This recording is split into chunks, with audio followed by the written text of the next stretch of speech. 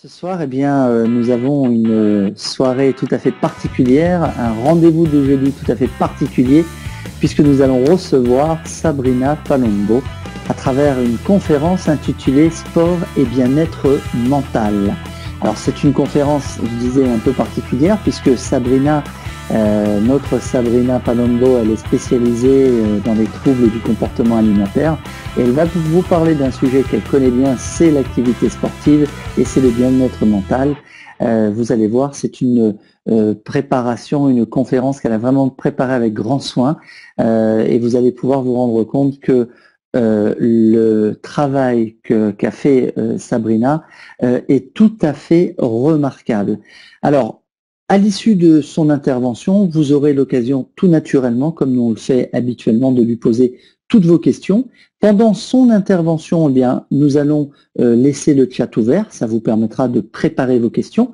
Je vous rappelle que si vous rencontrez des problèmes de connexion ou si la conférence ne vous semble pas de très très grande qualité, eh bien, vous pouvez tout simplement déconnecter la fonction caméra de votre ordinateur. Et si toutefois la connexion vous semble toujours trop lente, il vous suffit tout simplement de quitter temporairement la salle et de nous rejoindre juste après. N'oubliez pas de vous installer dans un endroit calme pour étudier, prenez de quoi noter, crayon, stylo, papier, éteignez votre téléphone portable, fermez la porte et surtout, surtout, surtout, préparez-vous à suivre la conférence de Sabrina Palombo intitulé Sport et bien-être mental. Je sais que Sabrina euh, était particulièrement enthousiaste à l'idée de faire cette conférence. Eh bien, qu'elle se réjouisse. Sabrina, maintenant, c'est à vous. Bonsoir à tous les optimistes. Ce soir, euh, comme euh, vous l'a dit Ludovic, je vous ai préparé une conférence donc, sur le sport, un sujet qui me tient particulièrement à cœur. Pour ceux qui me connaissent bien, je crois que voilà, ils, sont, ils sauront pourquoi, mais de toute façon, je vais faire un, petit résumé. Euh, donc, euh, cette conférence, je l'ai intitulée Sport et bien-être mental pour euh, rappeler dans une première partie, effectivement, tous les, tous les bénéfices du sport. On en connaît beaucoup de vertus. Je pense que vous avez déjà en tête pas mal de bienfaits. mais je vais focaliser sur le fait que le sport peut avoir des, des, des conséquences un peu, un peu moins réjouissantes. Et euh, bah, évidemment, comme je suis experte en troubles alimentaires, vous vous doutez bien que j'ai fait un petit focus sur euh, les TCA dans le sport, les troubles du comportement alimentaire. Donc euh, bah, c'est parti pour cette conférence. donc avec une petite. alors si je dois refaire une petite présentation pour ceux qui ne me connaîtraient pas encore sur le réseau. donc j'ai 32 ans, bientôt 33. J'habite Clamart depuis, depuis pratiquement ma naissance. Je suis sportive, comme euh, le montrent les petites photos que je vous ai mises. Euh, j'ai commencé euh, l'athlétisme vers mes 5 ou 6 ans. Et puis, j'ai été finaliste au championnat de France d'athlétisme en première année cadette.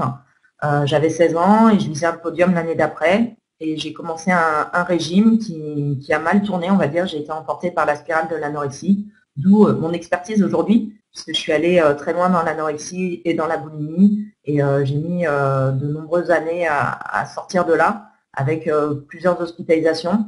J'ai quand même fait euh, des études, donc j'ai des, diplômes dans le domaine du marketing et de la pub. Et puis, euh, donc suite à une longue hospitalisation en 2006, j'ai fait une rencontre qui a, changé ma vie, on en parlera tout à l'heure. Et j'ai commencé à sortir vraiment de la dépression il y a, un peu plus de deux ans, donc à 30 ans en fait. Et puis, bah, l'année dernière, ça a été une année charnière où j'ai décidé de me lancer, euh, de m'investir pleinement dans la lutte contre les troubles alimentaires. Donc j'ai créé mon association, euh, Sabrina TCA 92, qui représente euh, ce département au sein d'une fédération. Parallèlement, j'ai écrit un livre de témoignages dont on va parler aussi en fin de conférence peut-être. Et, voilà, j'ai décidé de témoigner pour, pour aider au maximum les autres personnes malades et surtout, enfin, et leurs proches. Donc euh, mes objectifs, effectivement, c'est de lutter contre le fléau des troubles alimentaires, puisque ça concerne vraiment euh, énormément de gens. Euh, donc mon but, c'est vraiment de informer, écouter, comprendre, réagir. Tout ça pour faire connaître et reconnaître les troubles du comportement alimentaire, je bafouille un peu, et faire tomber les tabous ou combattre les idées reçues. plus largement, j'espère participer à un éveil des consciences, puisque comme je, l'ai dit, je me suis, me suis éveillée Je me suis, voilà, je crois en plusieurs choses et, et là aussi j'en parle beaucoup dans mon livre. Il y a toute une partie sur, sur ma spiritualité. voilà. donc pour cette conférence, alors ma, la thèse que j'ai choisie, euh, c'est voilà, c'est le sport possède de nombreuses vertus, mais euh, une pratique excessive, euh, mal encadrée, peut aussi favoriser le développement de troubles du comportement alimentaire. Alors, donc en introduction, je vais donc, je peux pas toutes les citer, mais effectivement, le sport est une source de bien-être et d'équilibre. Il faut savoir que la relation entre activité physique et sportive ou sportive euh, et la santé, c'est une relation complexe, puisque bien plus complexe qu'il n'y paraît, puisqu'en fait, elle dépend de nombreux paramètres euh, individuels, individuels, tels que l'âge, le sexe, l'état de santé, euh, mais des, des, oh des déterminants psychologiques et sociaux, mais aussi les caractéristiques de l'activité en elle-même, son volume, sa fréquence au cours de la vie. Le sport permet de doper son mental, j'en sais quelque chose et je crois que des personnes euh, présentes ce soir le savent aussi. Euh, d'ailleurs, de grands sportifs en témoignent. Euh, pour en citer quelques-uns, j'ai donc il y a Christophe Dominici que tout le monde connaît, qui était en fait un, jeune homme plein de colère suite notamment, il était rongé par la colère, la culpabilité puisqu'il était brisé par la mort de sa grande sœur. Et puis il explique aujourd'hui qu'il a trouvé refuge dans son club de sport. on a aussi l'exemple de Philippe Croison, qui euh, lui était euh, amputé des bras euh, et, des jambes suite à un accident et en fait il a donc il a trouvé le courage pour un, pour un projet un peu fou, traverser la Manche à la nage. bon après c'est des exemples parmi, tant d'autres. Le sport a évidemment des effets bénéfiques sur, sur la santé. D'ailleurs, ils sont connus depuis l'Antiquité et puis ils sont confirmés par toutes les études aujourd'hui épidémiologiques qui montre euh, notamment que le risque de décès prématuré euh, est moindre chez les personnes qui ont une activité physique euh, régulière. les résultats sont variables en fonction de l'âge et, de la cause de décès et ils sont plus probants chez les hommes que chez les femmes. La, pratique d'une activité modérée, donc au moins 3 heures par semaine ou intense, à savoir 3 fois 20, 20 minutes, non, oui, 3, enfin, au moins 20 minutes trois fois par semaine euh, diminue le risque euh, de 30% euh, de mortalité prématurée. Et puis, la pratique régulière d'un sport améliore aussi le bien-être émotionnel, le bien-être physique, la qualité de vie, la perception de soi. Alors, en, lisant le livre du, parrain de mon association, pour ne pas le citer, le professeur Michel Lejoyeux, donc son dernier livre, Réveillez vos désirs, m'a aussi appris des choses, notamment que le cerveau possède un centre de la récompense. En fait, euh, c'est une partie profonde du cerveau qui, euh, qui s'active chaque fois que, l'on éprouve du plaisir. Et donc, euh, on peut l'activer en cas d'activité physique. enfin, voilà, quand on pratique du sport. Donc, en fait, on parle de neurones du plaisir. Et si on s'intéresse aux molécules, on va parler de la dopamine qui, qui en fait transportés par des neurones à l'origine de nos désirs les plus, basiques. Euh, bon, alors attention, parce que le sport, euh, voilà, on peut devenir tellement accro un peu à ces petites molécules que qu'en fait, on peut souffrir de, bigorexie. Alors la bigorexie, c'est en fait une conduite addictive liée au sport. Et en fait, la personne qui souffre de bigorexie affirme ne plus pouvoir se passer de sport et euh, se sentir même mal si elle est obligée de ne pas en faire. Euh, le sport alors contribue grandement à avoir une bonne image euh, de, son corps. Bon, malheureusement, notre société en fait favorise plutôt les comportements sédentaires. Alors, l'image de corps, du corps, euh, c'est quoi? C'est comment on se perçoit quand on, quand on se regarde dans le miroir ou quand on se représente même mentalement. c'est ce que l'on croit à propos de son apparence, y compris ses souvenirs, ses, suppositions, c'est comment on se sent euh, à propos de son corps, hum, y compris aussi la, grandeur ou la silhouette et le poids. Et puis c'est comment on sent et on contrôle son corps quand on bouge. Voilà, alors l'image négative du corps, elle, elle, euh, elle, revient à avoir une perception déformée de sa silhouette. On a honte de soi, on, peut se sentir euh, gêné, anxieux, par rapport à son corps ou plus généralement se sentir inconfortable dans son corps. Donc, au contraire, une image positive du corps, c'est d'avoir une perception claire et précise de sa silhouette, s'admirer, s'apprécier au naturel et se sentir plutôt confiant dans son corps, enfin avec son corps. Euh, alors malheureusement, les gens qui ont euh, une image euh, négative hein, sont, enfin une image corporelle négative sont davantage susceptibles de développer un trouble du comportement alimentaire, de souffrir aussi de, sentiments dépressifs, d'isolement, d'une faible estime de soi et d'obsession, de perte, d'obsession de perte de poids ou d'hyperphagie, et ils vont tenter de modifier leur composition physique voilà, comme je vous l'ai dit, j'ai fait un petit focus euh, sur euh, bah, les TCA dans le sport.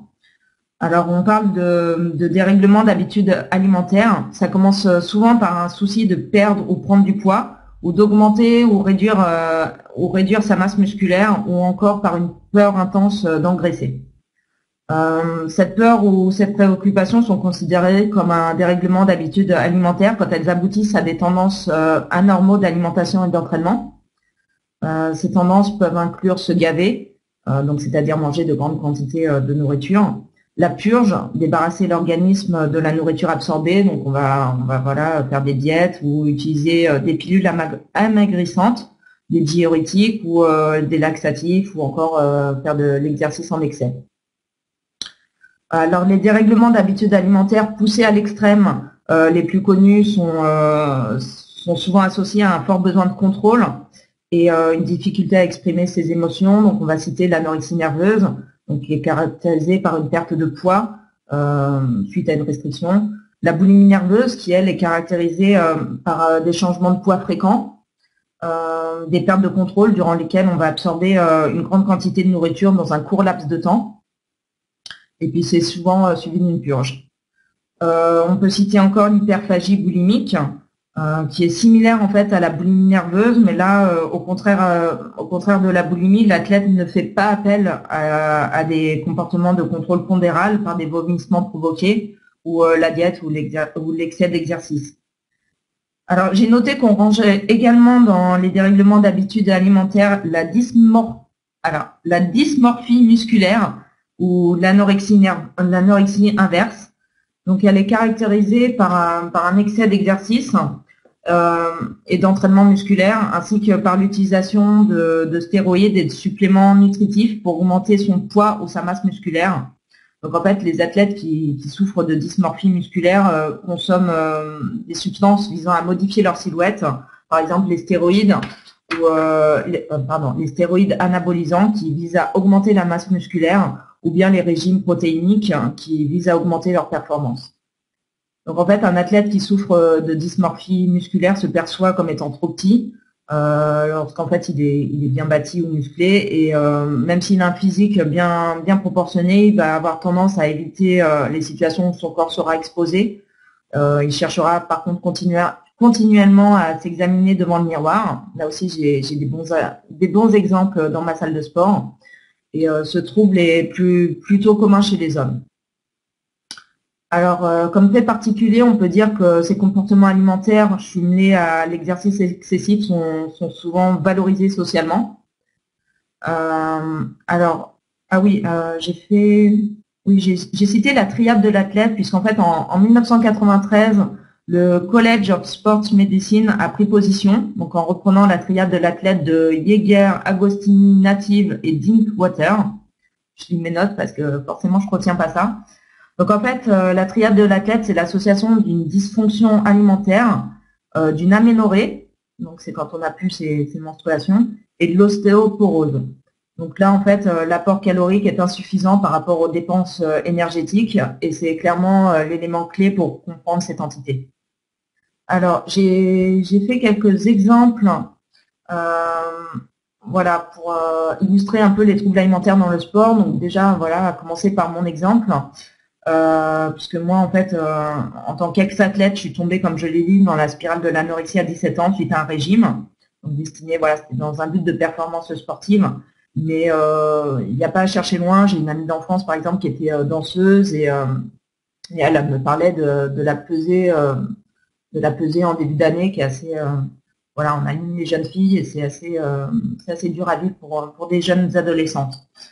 alors là, je vous ai mis un slide en fait qui concerne euh, Plectrude, qui est en fait une pièce, euh, une pièce de théâtre que, je soutiens dans, via mon association, que je fais jouer, qui permet de, parler des troubles du comportement alimentaire par la suite.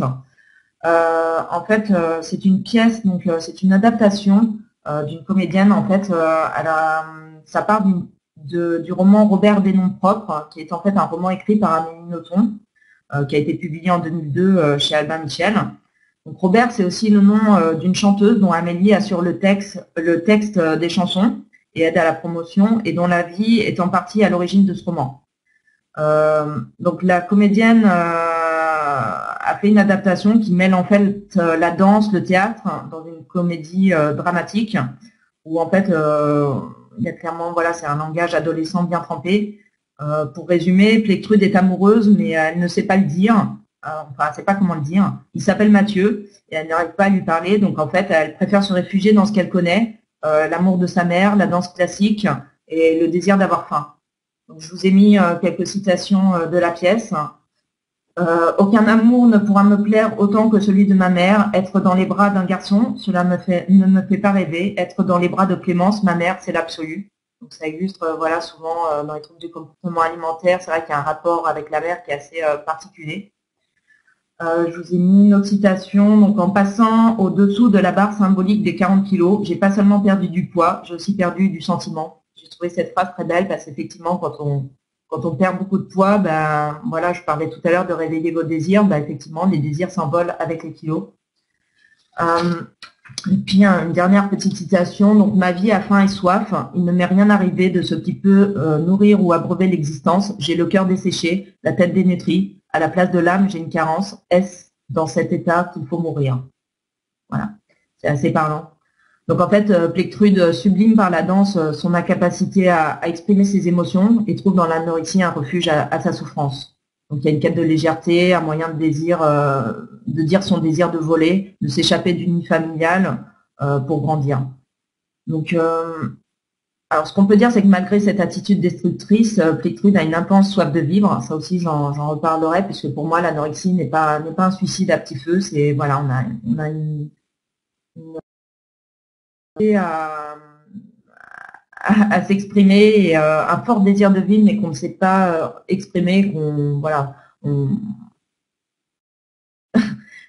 ne sais pas si je suis très claire. alors, toujours dans le cadre de mon association, euh, je soutiens un, court métrage qui en fait euh, euh, donc la fille Émilie avait fait un premier court métrage qui s'appelle Sacha, qui a été présenté lors de festivals et qui a été a eu qui a été bien reçu. en fait, c'est l'histoire, c'est tiré d'une histoire vraie, hein, c'est pour ça que je le cite. C'est l'histoire d'une gymnaste anorexique euh, et, donc, elle a décidé de faire une suite hein, comme une plume, qui là, en fait, euh, elle a fini le tournage et euh, les premières projections vont, avoir lieu avant l'été. Et comme une plume, c'est plus sur ce que vivent les, familles et les proches. Donc, je vous ai mis les deux affiches, puisqu'en fait, celle de, celle de gauche de votre écran, c'était en fait une affiche destinée à la promotion du court métrage. Et elle a voulu faire une affiche un peu choc pour montrer toute la violence des troubles alimentaires, l'anorexie, la boulimie.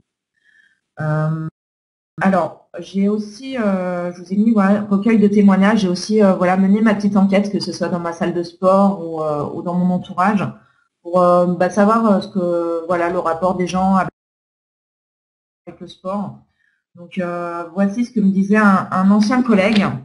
J'ai trouvé son témoignage assez, assez sympa. il me dit Ce que m'a apporté le sport, la joie du dépassement de soi, de l'équilibre, de l'humilité, pour les limites du plaisir, car il y a plusieurs types de sport, chacun répondant à un besoin spécifique. C'est juste un élément essentiel de bien-être. Un dernier point, le corps a sa propre intelligence. Le dépassement, c'est bien, mais il s'agit de respecter son corps qui lui répond toujours à nos désirs, jusqu'à céder devant l'aveuglement du mental. Le mental agit sur le corps, mais le corps agit aussi sur le mental. Voilà, j'ai trouvé ça assez parlant. Et effectivement, euh, le, sport agit sur le mental, le mental agit euh, sur le corps. Et là, j'ai deux témoignages de personnes souffrant de, troubles alimentaires. Donc, euh, le premier témoignage, c'est un garçon qui me dit que le sport a toujours été pour moi très important. J'ai dès le plus jeune âge trempé dedans. Je ne voyais pas vivre sans, et surtout le cyclisme. Mais je suis tombée dans l'anorexie et cela a gâché ma relation avec le sport. Par contre, dès que je, reprends, je me sens mieux et les crises s'estompent, bien que toujours présentes, mais moins. Le sport est pour moi comme une drogue qui a été remplacée par une autre, la nourriture. Pour stopper les crises, je sais que je dois les remplacer par le sport. Euh, et puis un deuxième témoignage donc euh, d'une jeune fille, hein, je crois qu'elle est présente ce soir, elle se reconnaîtra. Donc au plus loin que je me souvienne, j'ai toujours pratiqué du sport, c'est-à-dire que je n'imagine pas une vie sans sport. Excès de sport, un des symptômes du début de ma perte. À vouloir aller toujours plus haut, je suis tombée bien bas. Je crois qu'on a déjà un point commun. Faire du sport me permet de me défouler, de déculpabiliser mes crises de boulimie. Plus je perds du poids et plus je deviens addict à cette salle de sport. Aujourd'hui, j'ai du mal à, passer une journée sans y aller. J'ai besoin de transpirer, de brûler le plus possible de, calories. Euh, et puis, euh, donc ça, c'était des témoignages dans, mon entourage, mais j'ai euh, aussi, pour illustrer cette conférence, ben, j'ai pris des exemples d'athlètes connus qui, ont des alimentaires. La première athlète, c'est Aya Sissok, qui est en fait une ex-championne de boxe, elle, en fait, elle explique qu'en 2003, elle devait disputer une finale de championnat du monde. Euh, la pesée avait lieu le matin de l'événement et euh, l'événement se tenait en soirée. Elle accusait 2 kilos de trop pour avoir euh, bu un petit peu la veille, bu de l'eau, hein, je précise. et puis elle avait une heure pour se délester sous peine d'être disqualifiée. Donc en fait, elle s'est mise à faire de la corde à sauter dans un sauna. Et en fait, comme elle dit, elle a assuré le strict minimum, la victoire. Elle concède surtout que tout a commencé par excès de conformisme. Elle dit, j'ai pris exemple sur les meilleurs. Voilà jusqu'où ça peut aller. Euh, un deuxième exemple, euh, c'est un judoka, euh, Benjamin Darbelay, qui lui en fait a dû s'astreindre à un régime contraignant afin de participer aux Jeux Olympiques d'Athènes en 2004. Il devait descendre à moins de 60 kg au lieu des 66 dans lesquels il évoluait habituellement. Et en fait, il a perdu 12 kg en trois mois et s'en sont suivis des épisodes boulimiques. Et puis la troisième, bah, pour moi, euh, c'est un exemple euh, important puisque euh, voilà, moi j'ai fait beaucoup d'athlétisme et c'est Elisabeth Groussel qui est en fait détentrice du record de France en salle du 800 mètres. elle est aussi médaille de bronze au championnat d'Europe en salle en, 2002. Et elle, en fait, elle dit qu'elle a commencé à pratiquer l'athlétisme à 17 ans, au moment où elle est devenue anorexique. Elle dit, je me suis inscrite dans un club pour maigrir, pas pour faire de la compétition. Euh, je pensais que le sport était le seul moyen de perdre quelques kilos. Ce n'est que plus tard que j'ai découvert mes capacités physiques. Je suis restée dans la honte de ma maladie pendant 15 ans, toute ma carrière. Je n'en ai jamais parlé. On ne m'a jamais communiqué de numéro de téléphone de médecin ou de spécialiste. Donc ça, c'est une interview qui date d'octobre 2012 euh, euh, sur rue 89.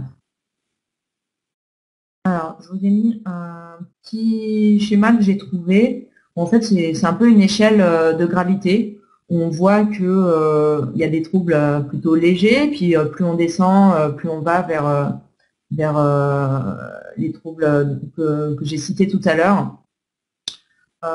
donc voilà, on passe du statut rigide à la désinhibition, le binge eating disorder et puis la boulimie, l'anorexie pour les pour les plus graves. alors je crois que je peux passer. Alors, effectivement, j'ai fait un focus euh, sur le contrôle du corps, euh, puisqu'en fait, euh, la pratique sportive actuelle est fortement conditionnée par le désir de performance. Comme je le disais tout à l'heure, moi, ça a été mon cas. ce désir, en fait, est partagé par les différents acteurs, les différents acteurs, pardon, que ce soit le sportif, le staff technique et le corps médical. Euh, tous tendent à, ce que le corps humain soit le moins faillible possible. Aujourd'hui, en fait, euh, on n'hésite pas même à le, chosifier. Il passe d'un statut de corps biologique au statut de corps machine. Et puis, on va, euh, on le déshumanise. on cherche même à le rentabiliser aujourd'hui. on peut dire qu'il a une valeur marchande. concernant l'alimentation, la diététique est délaissée pour laisser place à la nutrition humaine. Euh, ça en fait ça, ça devient une alimentation désincarnée, euh, dépouillée et réduite au champ de l'interaction moléculaire. Donc en fait on, intellectualise euh, l'alimentation et on en arrive à une souffrance psychique. Parce qu'en fait les choix alimentaires deviennent aliénés au désir de performance. Et puis bah, du coup l'intersaison ou les contre performances sportives sont voilà, les blessures sont, propices à l'apparition du trouble alimentaire. Alors, les connaissances en, matière euh, de nutrition, euh, en matière de santé et de nutrition sont exponentielles euh, depuis les années 50. En fait, aujourd'hui, voilà, dans tous les magazines, vous avez une page, une page sur, sur la santé, l'alimentation, puis sur Internet, bah, ça, regorge de sites spécialisés. Donc, en fait, ces connaissances sont, sont très utiles, c'est sûr, mais on, on cherche en fait une performance de la connaissance et on oublie l'essentiel, c'est-à-dire que manger est un acte naturel qu'il ne faut pas intellectualiser à tout prix. Je vais essayer d'appliquer euh, ce que je dis. Euh, donc en fait, euh, oui, en outre, malgré ces, connaissances en nutrition, bah, des mythes persistent. Par exemple, l'un de ces mythes, c'est que suivre un régime et perdre du poids améliore la performance sportive en fait, dans, les faits, chaque athlète féminine a sa propre taille et silhouette corporelle. Euh, si le corps n'obtient pas la nourriture dont il a besoin, il va commencer par euh, puiser en fait, à briser le, tissu musculaire, s'en servir comme combustible, d'où faiblesse, fatigue, risque de déchirure musculaire. donc en fait, en résumé, les, régimes n'aident pas les, athlètes. Alors, il y a une croyance répandue aussi qui dit que la performance la meilleure soit atteinte au poids le plus faible, au poids le plus bas. Euh, comme on dit, senior is better. Et un pourcentage de tissu adipeux le plus faible possible aussi. Euh, donc en fait, voilà, comme je l'ai dit, les, troubles alimentaires sont fréquents dans les sports où euh, un poids bas est souhaité, donc tel que la danse, comme je l'ai dit, mais aussi la gymnastique, la course longue distance. et puis surtout les sports utilisant une classification par poids euh, ben, euh, enfin, oui, encourage un poids léger. Euh, les femmes sont les femmes les plus à risque sont celles qui, pratiquent des sports en mettant l'emphase sur une silhouette mince ou comprenant une évaluation subjective de l'apparence.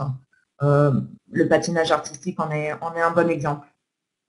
Alors, il y a une grande difficulté à, déceler les troubles hein, chez les athlètes, puisqu'en fait, il existe des traits caractéristiques similaires entre bah, ce qu'on considère comme une bonne athlète ou l'athlète exposé au risque de troubles euh, du comportement alimentaire. Euh, donc, en fait, euh, il s'avère difficile de, déterminer quelles caractéristiques sont utiles à la performance ou nuisibles à la santé. Parce qu'en fait, euh, bah, on est obligé de constater que plusieurs des qualités permettant euh, de devenir une athlète performante se retrouvent en fait dans, les gens euh, qui souffrent de troubles du comportement alimentaire. Par exemple, la volonté, la détermination, le déni de l'inconfort physique. Donc, ce qu'on appelle une bonne athlète, si je dois citer quelques points, on va dire que la bonne athlète, c'est celle qui est prête à s'entraîner plus fort et plus longtemps que ses coéquipières. Elle performe malgré la douleur et les blessures. Elle se donne à son équipe sans penser à soi. Euh, elle se soumet euh, entièrement aux directives de l'entraîneur en vue de plaire aux autres.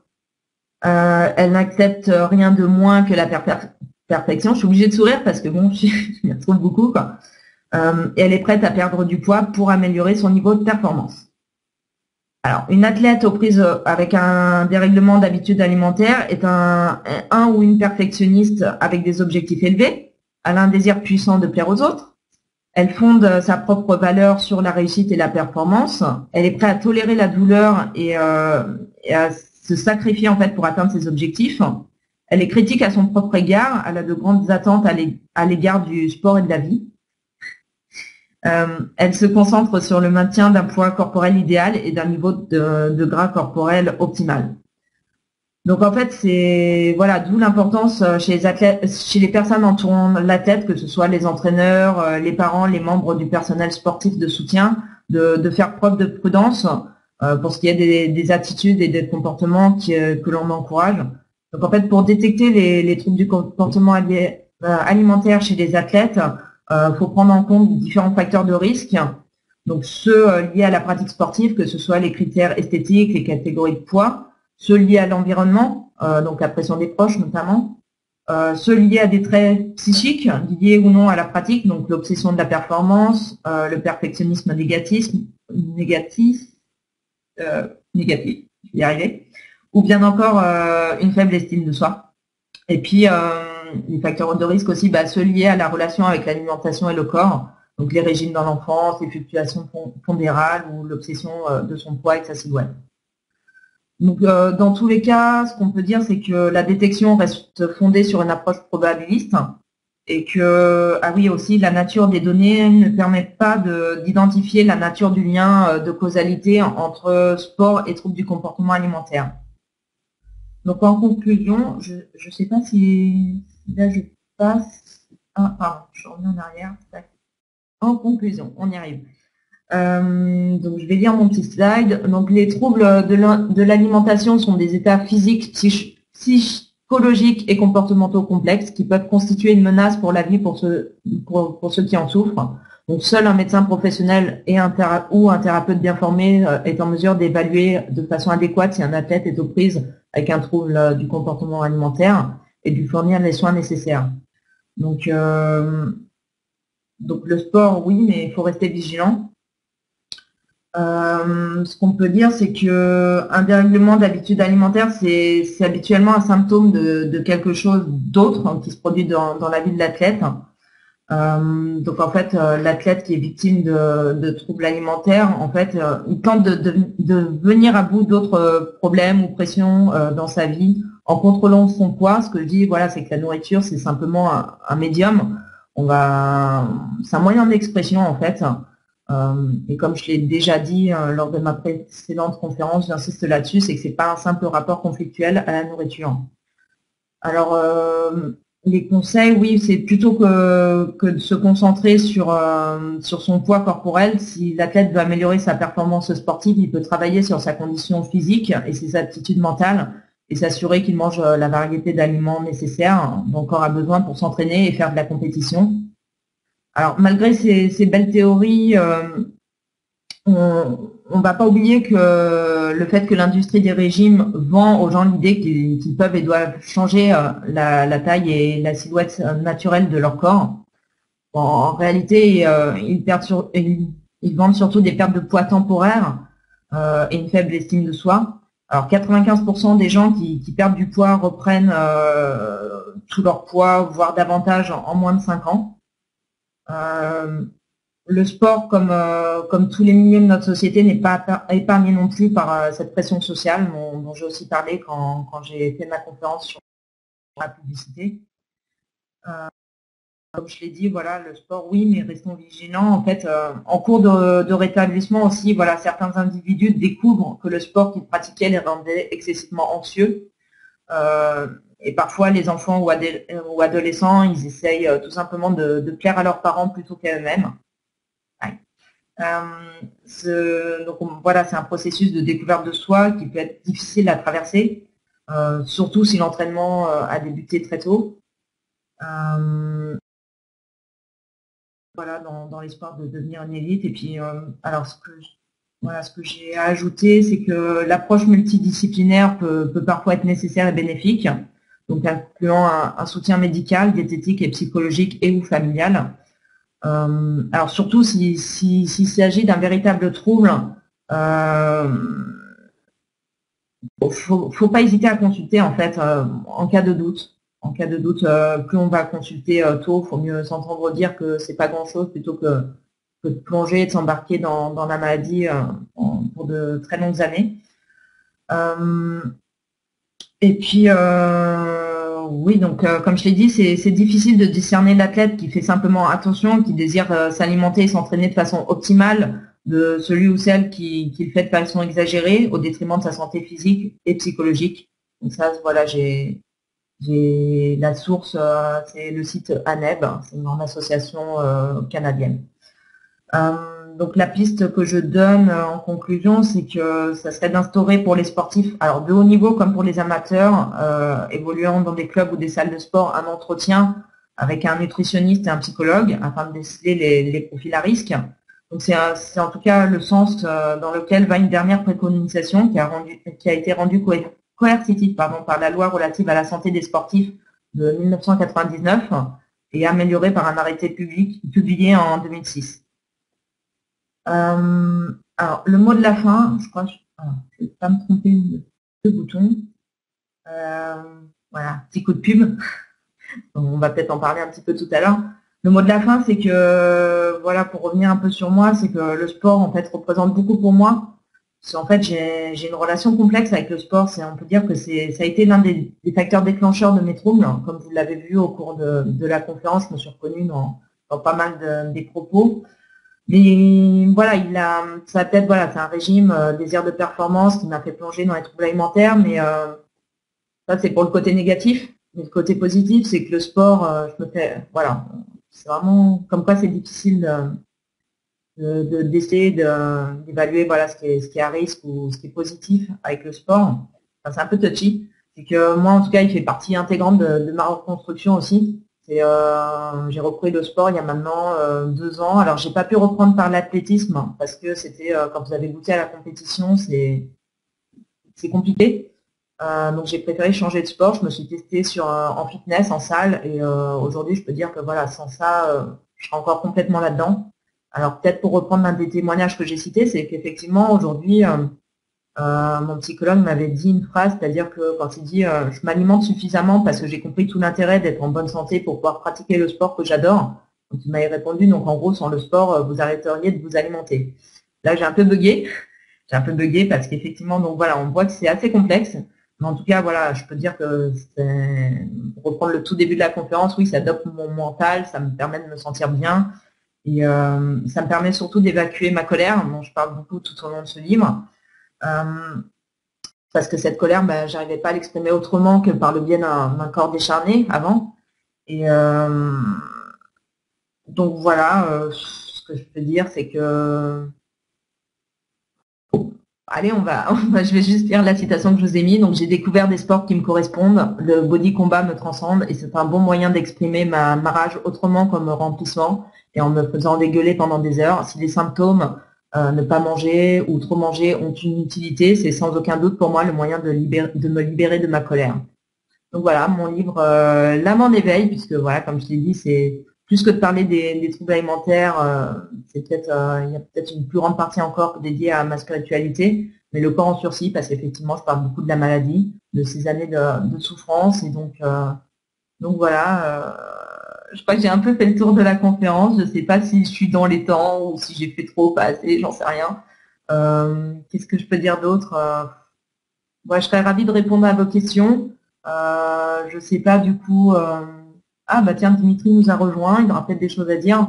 Je vais avoir une coach sportive qui est. Ah oui. Ah si, je peux rajouter que voilà, alors j'ai une coach sportive que j'ai fait sa connaissance il n'y a pas longtemps. Et curieusement, euh, voilà, au fur et à mesure, je fais des rencontres assez particulières, mais voilà, c'est euh, c'est une ancienne anorexique, un boulimique guérie depuis deux ans. Aujourd'hui, elle a sa société de fitness et je crois qu'elle aurait beaucoup de choses à dire. Elle sera peut-être là lors de. Ouais, je sais qu'elle s'est inscrite sur le réseau et elle aura peut-être des choses à nous dire aussi. J'ai discuté avec des coachs et euh, je leur demandais, voilà, en salle, quand je vois des filles ben, se, se, tuer sur leur machine, je leur dis, mais comment vous réagissez, comment vous gérez un peu la maladie? Et là, ils m'ont dit des choses assez, assez curieuses. Il y, aurait, il, y aurait, il y aurait de quoi dire aussi, des choses qui sont à faire en salle, voilà, pour, pour prévenir, peut-être former les coachs aussi sur, euh, sur ce qu'il faut faire quand ils, quand ils détectent un, trouble alimentaire. Mais euh, ce qu'on m'a dit, et ça, je suis un peu surprise, j'aimerais bien avoir la confirmation, c'est qu'ils n'ont même pas le droit, en tant que coach sportif, d'aborder le sujet euh, alimentaire avec les adhérents. Ça me paraît un peu curieux, je pense que ça, c'est officiellement. Euh, mais voilà, comment, comment gérer ça, même dans les clubs de sport ou, euh, sans aller dans un club de sport, bah, la question, voilà, c'est quand vous croisez une anorexique, qu'est-ce que vous faites? Est-ce que vous baissez simplement le regard ou voilà, c'est voilà, c'est toutes ces questions-là que, je souhaite poser via mon association, via les conférences que je donne en ligne. C'est simplement bah, expliquer voilà moi mon vécu et, et voilà peut-être pointer du doigt sur les choses qu'on peut faire Aujourd'hui, j'ai la chance d'être euh, bien entourée de, personnes à qui j'ai de nombreux projets où il y a, voilà, il y a, des belles choses à faire. simplement bah, faire parler de la maladie, faire reconnaître, parce qu'il y a voilà, il y a les troubles alimentaires dans le sport, il y a les troubles alimentaires dans, dans les médias, comme je l'ai dit euh, lors d'une ancienne conférence. Et, euh, voilà, vraiment un fléau. Et, je vais m'arrêter là. Je vais, je vais laisser la parole à Ludovic. Et si vous avez des questions, bah, n'hésitez pas via le chat.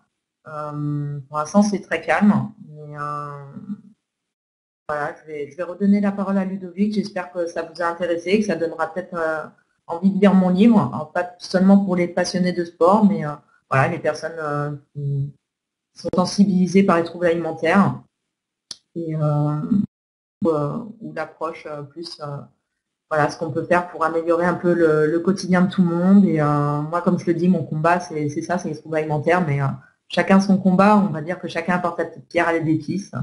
Et, euh, et, allez, je me tais parce que j'ai déjà, déjà pas mal parlé. À bientôt. Merci Marjolaine. Merci pour cette belle présentation et félicitations pour ton application. Voilà, ça c'est le mot de la fin. C'est sympa. Ludovic bah, L'animateur modérateur, je sais pas ce qu'il fait. Hein. il m'a laissé, euh, laissé en plan ce soir. Est-ce surtout un problème féminin et pourquoi d'après toi Sabrina? Alors effectivement, les chiffres sont parlants. Euh, ça concerne beaucoup plus de femmes. Euh, ça a été très longtemps considéré comme des maladies propres à l'adolescence et féminines. On voit que les, bah, c'est pas si simple que ça. Il y a quand même des hommes concernés, ça c'est clair et net. D'ailleurs, voilà, j'ai cité un témoignage d'homme qui va, d'ailleurs adhérer à mon association. Mais euh, c'est vrai que c'est. Alors les euh, chiffres euh, sont augmentation, en augmentation de ce côté-là, du côté masculin. C'est encore plus violent d'ailleurs pour les hommes, parce que quand vous en voyez un, bah, c'est impressionnant, c'est-à-dire qu'on a toujours l'image de l'homme qui doit être fort, viril, etc. Et quand vous le voyez bah, avec un corps, un corps comme ça, pour eux c'est encore, autre chose à gérer parce que c'est bah, voilà, comme, on a cette idée reçue que c'est une maladie féminine, pour l'homme, c'est très culpabilisant, c'est vécu dans la honte. Euh, alors pourquoi plus de femmes? Euh, Pourquoi plus de femmes? Euh, c'est vrai qu'il y a le diktat de la société. Il faut être aujourd'hui la Wonder Woman qui sait tout faire, la femme qui travaille, qui a le droit de s'accorder avec les pauses publicitaires, son Mars, son machin, mais, surtout pas grossir. Donc voilà, faut être, faut être parfaite. voilà, c'est Peut-être que Dimitri sait pourquoi ça, concerne plus les femmes. Voilà, j'ai les rapports. Euh, comment détecter une, personne à tendance anorexique? euh, ben, C'est un peu ce que j'ai dit au cours de ma conférence. Alors, euh, si on sort du sport, alors moi dans mon livre, je parle beaucoup de, de terrain favorable où effectivement on se retrouve dans, il y a pas mal de profils types, c'est-à-dire que quand je lis des témoignages, il y a beaucoup hein, de témoignages euh, sur les troubles alimentaires. Je ne suis pas le seul livre euh, qui va sortir dans les mois à venir. mais, euh, mais effectivement, on se retrouve dans, souvent dans des schémas, des structures familiales ou aussi bah, dans des traits de caractère. Il y a très souvent les, le perfectionnisme est complètement en jeu, les, problèmes d'estime de soi. moi, je parle beaucoup du... J'ai repris ça, ça vient pas de moi, mais alors, je ne sais plus quel médecin dit ça, je crois que c'est le docteur Meunier, mais j'en suis pas sûre faites attention au mot trop, c'est-à-dire une fille qui va être trop brillante, trop, trop comme si, trop, trop avec des résultats scolaires trop parfaits, voilà. Quand vous mettez du trop, bah déjà, euh, attention, attention.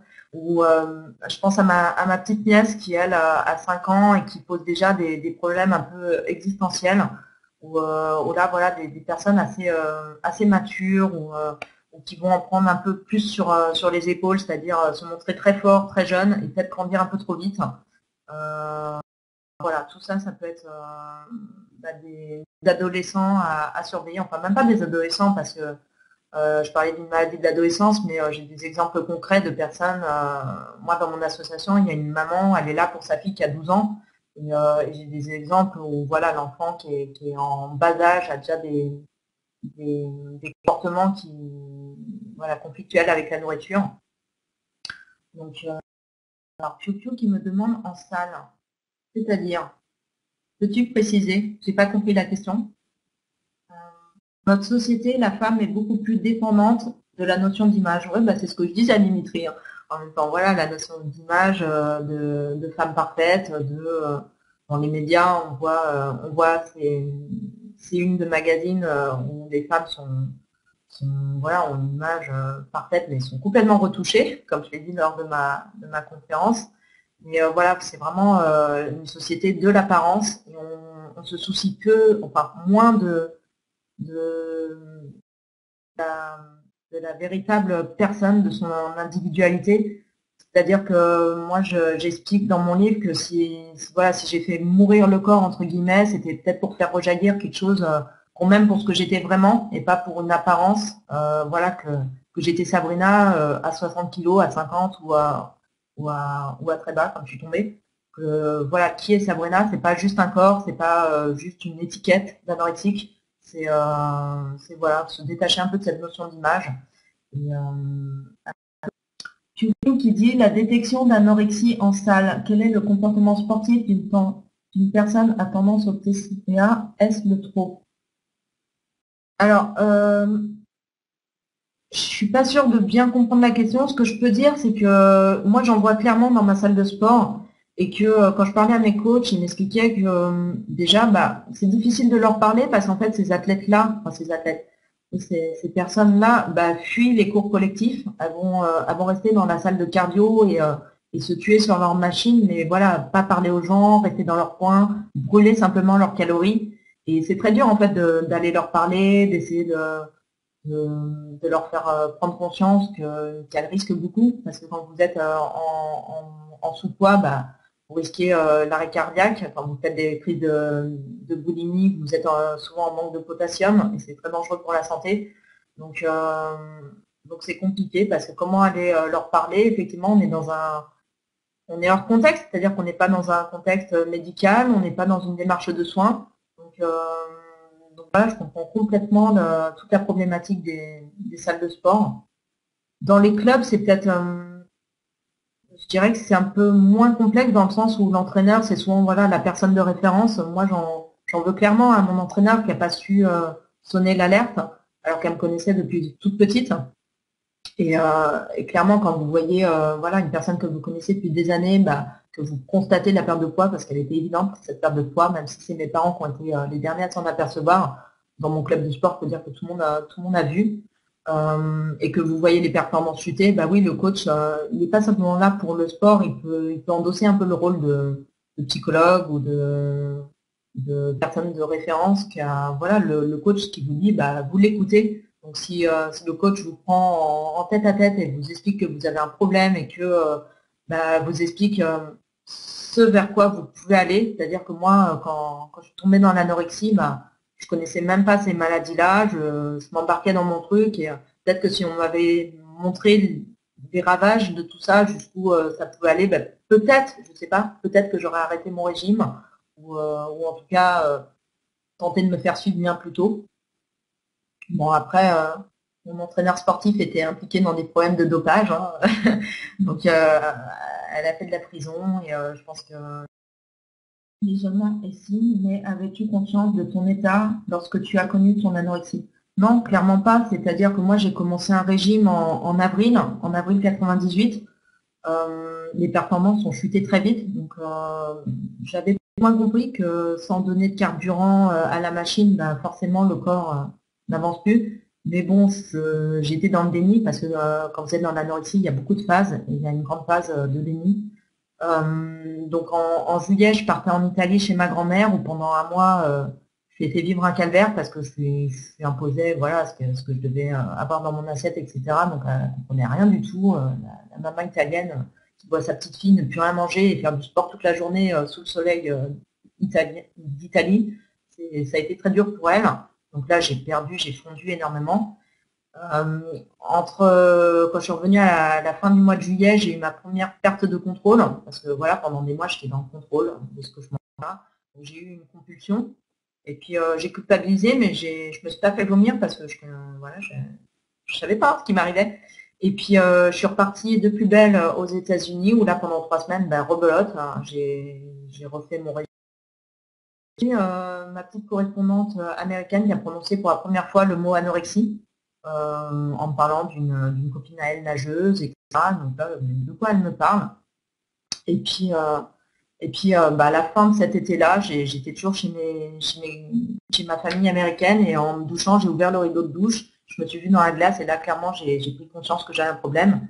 Mais, voir voilà, complètement avec les salières apparentes, voilà, le visage émacié, etc on prend conscience qu'on a un problème, mais là encore, on n'en est pas à se dire, euh, à se dire, je suis anorexique et euh, il faut que je fasse. voilà, après j'ai mis beaucoup trop de temps à, me faire suivre correctement. Et moi j'ai un parcours quand même assez particulier et très chaotique. Voilà, j'avais pas conscience d'être malade. alors je sais pas si c'est qu'on se, qu'on se voile la face, si c'est que lire mon livre. Je sais pas si j'ai fini mes slides. Attendez, je crois que j'en avais un, beau à la fin. Oui, quand même, parce que oui, non, mais quand même, il hein, faut, me suivre sur les réseaux sociaux. J'ai fait, voilà, il y, a, le site web, j'ai relayé de partout. Je tiens un blog sur psychologie. Et, euh, voilà, tout ça, je commence à. Le blog, non, mais depuis le, 8 mars, là, je remercie encore euh, Génération Optimiste, hein, qui, voilà, on a, une belle journée le 8 mars lors du lancement de l'association. Et euh, quand j'ai reçu Megan, une jeune fille que j'ai aidé à, créer son association, Point de l'âme, je vais lui faire un petit coup de pub, euh, et ben on a regardé euh, le blog, j'en étais à 200 visites et là euh, j'en suis à presque 600 visites, donc je pense que ça a été le début de beaucoup de choses. on me demande d'expliquer le logo. oui, euh, alors effectivement, le logo, je l'ai fait dessiner, j'en suis, suis très fière, j'ai eu des bons retours, il n'y a qu'une personne qui m'a dit qu'on comprenait rien au logo, donc mais c'est pas grave, en tout cas c'est, du Sabrina, donc euh, c'est pareil, ma charte graphique, je remercie mes stagiaires aussi, j'ai, fait ma charte graphique hier, charte de 10 minutes professionnels, donc pour une petite association qui se lance, c'est top. Alors le logo, euh, donc comme on voit, il y a, il y a une tête au milieu avec une sorte de machinerie au milieu. Euh, c'est pour en fait voilà symboliser bah, tout ce qui se passe dans la tête, puisque comme je t'ai dit, l'anorexie, c'est avant l'anorexie physique, c'est un mental. Euh, l'anorexie mentale est là, là, bien souvent euh, bien avant l'anorexie physique. Voilà, c'est pour montrer un peu tout ce qui se passe dans la tête. On réfléchit beaucoup, on cogite à mort, et il se passe beaucoup de choses. On est dans le contrôle, les obsessions, etc. Les ailes, bah, je crois que c'est du Sabrina aussi. C'est pour le côté, la dimension, bah voilà, c'est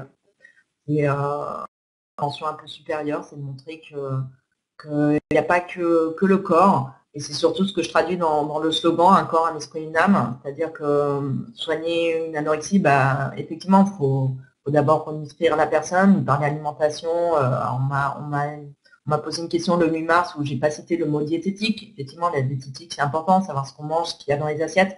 Mais en tout cas, c'est loin d'être que ça. Et, euh, moi, tout mon livre, c'est ça. C'est, j'ai dit merci de m'avoir sauvé physiquement ils m'ont nourri voilà, physiquement, ils ont oublié de nourrir le reste, donc l'esprit ou l'âme. On m'a dit d'ailleurs sur un, sur un autre site sur lequel on fait une conférence la semaine prochaine avec Dimitri que pour certaines euh, religions, enfin je sais pas, l'esprit ou l'âme c'est un peu la même chose. Pour moi c'est un peu différent. Et en tout cas voilà c'est ça, c'est euh, pour moi c'est l'approche holistique est très importante, c'est euh, s'adresser voilà, à l'ensemble de la personne, à ces, à ces différents corps subtils. vol, ça, non, mais là, en ce moment, j'ai des ailes dans le dos, quoi. J'ai, euh, j'ai, euh, chargé, euh, enfin, la personne qui fait des corrections du côté de, mon éditeur qui me disait aujourd'hui, vos anges vous êtes bien, ou je sais pas, comme, je sais pas, quelque chose comme ça. Je fais, bah, c'est clair, en ce moment, j'ai une armée d'anges qui m'aident. ça a l'air bien parti, tout ça, mais je suis quand même au chômage, hein, appel micro. appel micro. sur le vent, c'est compliqué. Un être humain égale corps biologique, plus énergie, plus émotion, plus mental, plus spirituel. Merci Dimitri. Dimitri qui s'est bien régalé euh, en m'aidant dans, la réécriture du livre. Je crois que la première partie l'a un peu ennuyé euh, parce que c'est la partie euh, autobiographique et il s'est fait plaisir avec la deuxième partie. Et ça m'a ça m'a bien aidé à, à, mieux formuler certaines idées que voilà, je touchais du doigt des choses que j'ai perçues, mais que lui, qui a, sûrement travaillé depuis bien longtemps sur, euh, ces approches-là, bah, connaît, euh, connaît et explique bien mieux que moi. Et euh, j'hésite pas à me, reposer sur lui pour, voilà, mieux expliquer ces choses que je ne fais que voir. Voilà, on va dire j'ai une bonne connexion, mais je ne développe pas ça plus que ça. Quoi. Bon, eh bien, il est 22h28 minutes. je suis franchement désolé, j'ai eu une petite coupure euh, d'à peu près une vingtaine de minutes euh, liées euh, au réseau et au réseau EDF notamment, ce qui m'a mis en absence de cette conférence. C'est pour ça que quand j'ai repris tout à l'heure la parole, je pensais que la conférence était terminée. C'est pour ça et je m'en excuse auprès de Sabrina et auprès de nos optimistes. Mais non, non, je ne dormais pas. C'est simplement que j'avais un problème de connexion lié à l'EDF cette fois-ci et non pas au réseau téléphonique. Pour l'heure, il est 22h28, c'est ce que je disais. Ma chère Sabrina, euh, jolie performance. Je vous remercie euh, sincèrement euh, de cette conférence. On aura l'occasion d'ailleurs de reprogrammer ensemble d'autres opérations. On a d'ailleurs bien travaillé cet après-midi ou, fin de matinée, je ne sais plus, ensemble sur l'enregistrement d'une capsule audio que je mettrai à disposition dans les heures à venir. En revanche, eh bien pour ce soir, c'est la mission est remplie, je dirais, et vous avez magnifiquement orchestré ce programme, ce rendez-vous du jeudi. Voilà. Alors je vous remercie mes amis d'avoir participé à tout cela. Je vous rappelle qu'on pourra retrouver euh, l'enregistrement, l'intégralité de l'enregistrement dans les heures à venir. Laissez-moi aller euh, euh, une journée ou deux le temps de préparer tout le montage et de vous mettre ça en ligne. Et puis on fera effectivement comme il se doit la rubrique web conférence, le lien euh, que vous trouverez sur Génération Optimiste vous permettra donc de revoir, de, revisionner l'intégralité de cette conférence. Sabrina, je vous demande simplement maintenant euh, de prendre congé de euh, nos amis Go Optimistes et je vous laisse pour cette fois-ci le mot de la fin. Je vous souhaite une bonne soirée à tous et je vous donne rendez-vous sur Go dès que possible. À bientôt. Bah, le mot de la fin, c'est un grand merci évidemment à toutes les personnes présentes, à ceux qu'on participer. J'espère que la conférence vous a plu. Euh, Ludo, euh, Ludovic se, fait pas mal chambrer, donc euh, voilà le coup de la coupure, c'était plutôt c'était plutôt le coup du hamac, hein, dormir. donc voilà, un grand merci à tous et vraiment moi, j'ai passé un, très bon moment. J'espère que j'ai été assez clair. En tout cas voilà, c'est moi c'est un, sujet qui m'a qui me passionne et que bah, j'adore parler de tout ça. Euh, et, voilà, voilà, voilà. Bah, très bonne fin de soirée à tout le monde. Euh, je reste un petit, un petit moment sur le chat euh, pour dire, pour dire au revoir et, des coucou à tout le monde. Et, j'espère que, je vous ramènerai encore plein de gens, des coachs, etc. sur le réseau pour nous permettre voilà, d'animer ces, chats et de répondre à, plein de questions. Merci à Dimitri qui complète qui est parti, qui est parti, qui s'est volatilisé. Mais euh, voilà, merci à tous et à, très bientôt sur euh, Génération Optimiste. Bye bye.